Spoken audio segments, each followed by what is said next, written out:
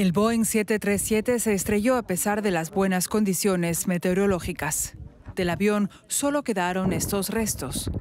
Según la aerolínea, el piloto envió un mensaje de emergencia apenas seis minutos después del despegue. En Nairobi la gente esperaba la llegada del avión. Los primeros momentos fueron de gran confusión. Los familiares se quejaron por la escasa información. Este hombre perdió el vuelo y tuvo que tomar el siguiente. Todo el mundo le preguntaba a los tripulantes de cabina qué estaba pasando, pero nadie decía nada, hasta que alguien vio en su móvil que el avión se estrelló.